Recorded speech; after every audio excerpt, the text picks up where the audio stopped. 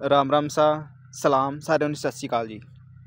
तो एक बहुत ही बड़ा वाक्य निकल के आ रहा है पाकिस्तान से ये दो तीन दिन से ये वीडियो ट्रेंडिंग में चल रही है बहुत ही तगड़ी। और क्यों ना चलेगी भाई? कोई गलती करेगा तो चलेगी, पर ये वीडियो देखना आप पहले इसके नीचे। ये देखो तो सही, आज ये मासूम, ये ऊँटनी का ऊँटनी की बच्ची है। बड़ी मतलब कि ऊँट या ऊँटनी बड़ी भी नहीं है, इस छोटी सी बच्ची है।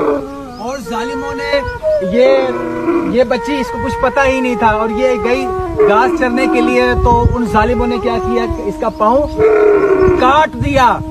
ये जुल्म की इंतहा है। आज कितना जुल्म हो रहा है हमारे सिंध के अंदर। ये देखो, ये जानवर चीखो पुकार करके कुछ बोल रहा है। वो ये कह रहा है कि मेरे साथ जुल्म हो रहा है।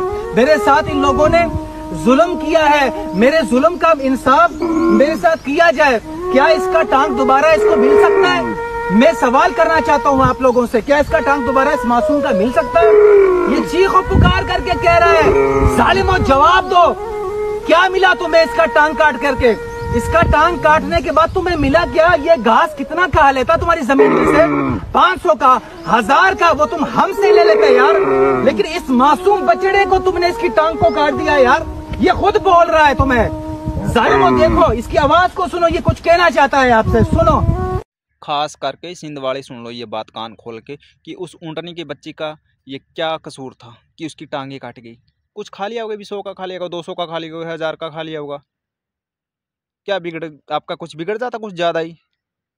पर ख़ास करके जो भी आपके नतीजे निकल रहे हैं ना, ये आपके शहर से, आपकी कंट्री से, जो इस्लामी मुल्क कहते हो, आपको चीख चीख के पुकार पुकार के मीडिया पे जो आपकी फ़ीजा खान कहती है, हम वो है, हम वो वो है।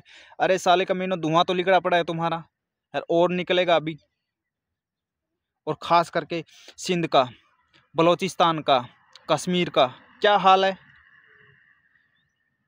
तुम्हें टाइम पर आटा नहीं मिल रहा है, पानी नहीं मिल रही है, लाइट नहीं मिल रही है, क्या नहीं? तुम्हें तुम्हारे पास कुछ नहीं है, भिखारी हो, और तुम फिर भी ये काम कर रहे हो। जय हिंद।